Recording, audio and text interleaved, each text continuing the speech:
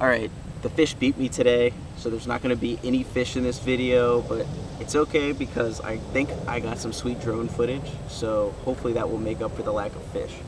Another reason I'm posting this vlog today is to let y'all know that Ace and I will be doing a 30 day fishing challenge. It's 30 day September, where we fish every single day.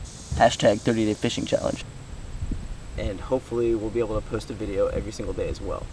If there's anything that you guys want to see us post, either how-to videos or technique-specific videos, uh, different places to fish, ponds, lakes, rivers, whatever, just leave us a comment in the comment box below. I'm personally going to be going down to Briery Creek with one rod for at least a couple days. I'm going to be hitting Gaston, maybe Kerr for a day, Lake Anna, uh, the Potomac River, obviously fishing on the Occoquan Reservoir, and Ace will be mainly focusing on ponds in the nor- in the Northern Virginia area.